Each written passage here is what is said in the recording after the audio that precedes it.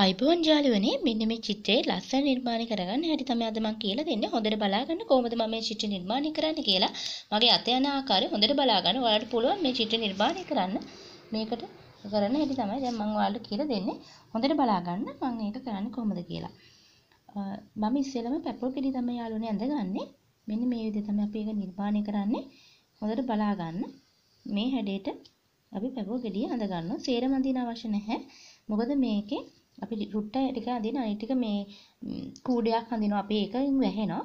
අපි මෙතනින් නිර්මාණය කරනොත් මේ විදිහට ඇපල් ගෙඩිය මේ විදිහට අපිට නිර්මාණය කරගන්න පුළුවන්.